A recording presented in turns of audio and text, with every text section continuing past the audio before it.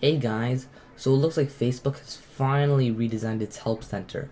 Now I say this because I've actually did use the help center once or twice. I was, I was looking up some sort of I don't know legal document or something. I don't know. Um, yeah, so basically I noticed that Facebook's help center is pretty shit because I couldn't find it, um, and I knew it existed. So you know, I, I after I realized that they redesigned it, I did go back to the Facebook's website. I used their help center, and I did in fact find it. So you know, it's, it's nice to see that Facebook finally redesigned its help center. You know, it's a little more easier to understand, um, and a little more better. Like, the you know, is better.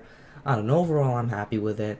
Um, I, I don't know because you know, like their help center it was really, really, really bad. Um, so it's nice to see that they're improving it. Although I think there could be a little more improvements. Um, it's still you know decent, right, compared to what they had before. Anyways, comment, rate, and subscribe.